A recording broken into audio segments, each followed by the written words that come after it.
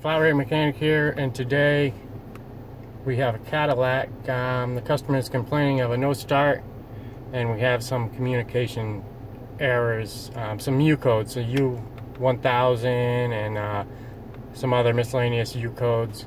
But uh, I go in and check the codes and pretty much every module has a U code. What happens is um, they can't start it, they can't get the key out of the ignition, they can't get it in neutral, there's no lights on the dash it almost seems like it's completely dead.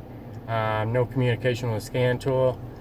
Now, I've had a hard time duplicating it, but basically what it did do to me is when I initially put the key in, um, it will turn on, the check engine light comes on, but no other dash lights whatsoever come on. Um, and then it seems like it's almost on a timer.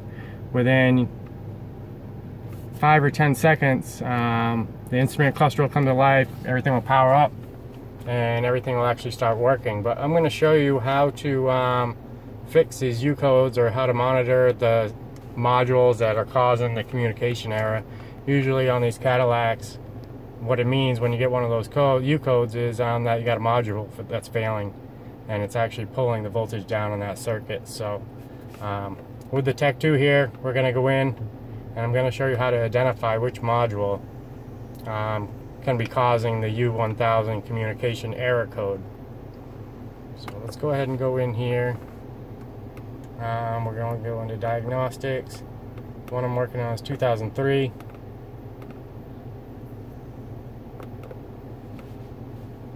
Yes. Alright, so once you get to this screen, you're going to want to go to diagnostic circuit check. We're going to go to class 2 message monitor. So we're going to be monitoring um, all the class 2 communi the communication network basically and we're going to see which modules are active.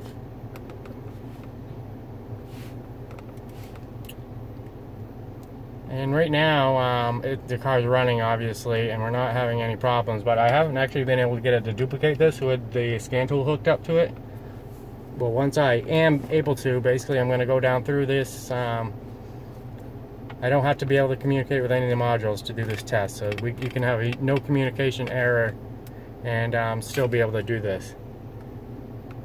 Let's get our focus back here.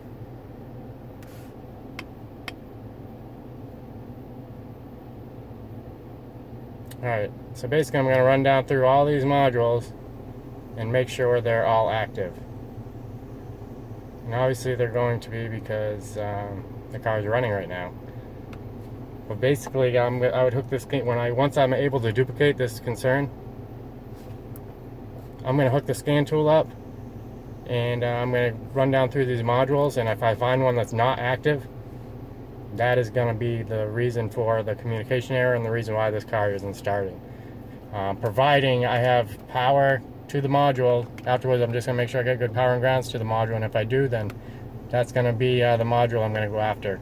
And as you can see in this vehicle, there's 17 different modules, so it could uh, be a lot of work trying to be able to guess without having the capability of doing this. So um, I just wanted to do a quick video for anybody out there that runs into um, U codes, U1000 particularly, um, in all the modules, or no start condition or what sometimes can even seem like a no power condition. There was no crank, no start, uh, couldn't get the key out, couldn't, nothing was working. So um, hopefully we can duplicate this and I will let you know in the video description below what fixed it.